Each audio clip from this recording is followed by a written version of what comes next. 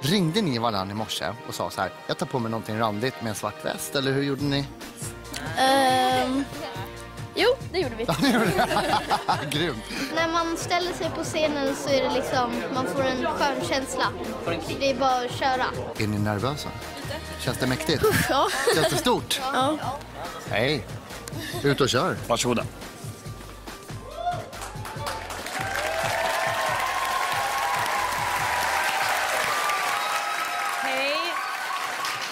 Vad heter ni? Vi heter Stockholm Lockers. Okej. Hur gamla är ni? Eh, Vi är 13. Okej. Scenen är, varsågod och kör.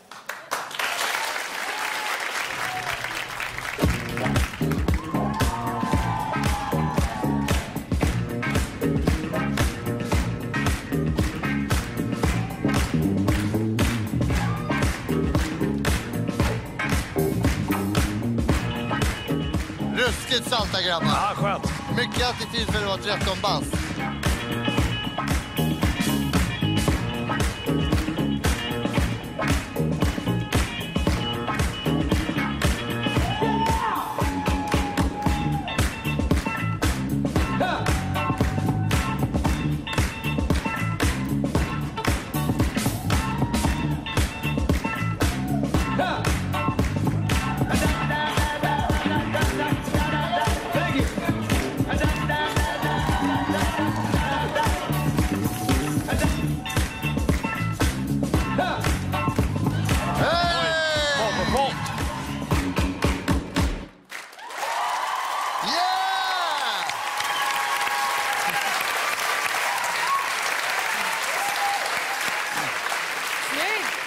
Jag tycker det är jätteroligt.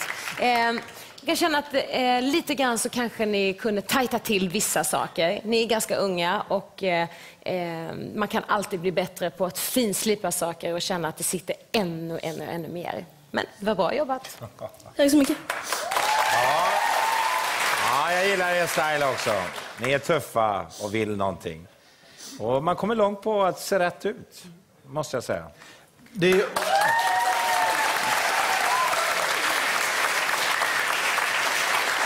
Om man dansar locking så är det två saker som är så extremt viktiga. Det ena är att man är snortajta ihop och andra är att man har en jävla punch i rörelserna så att det känns när man låser i dem ordentligt.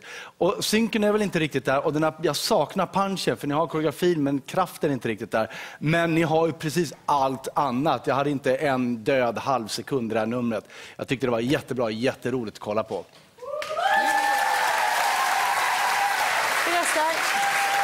Ja, jag eh,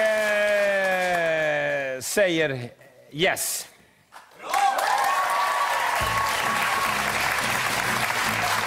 Jag tycker ni är jätteduktiga och eh, tror att ni har framtiden för er, men inte just nu. Hon är inte så bra på det här. Jag tror att ni eh, klarar att vara ännu kaxigare och ännu tajtare så att jag säger också ja. Välkomna tillbaka! Hur laddar ni om nu då inför en eventuell semifinal? Um, Fasta. Fasta. Eh, tränar som in i bänken. Ja. Och, ja, det är Grymt. Vad gör ni här då? Stick. Hem och träna! Grattis. Grattis. Hej då. Hej.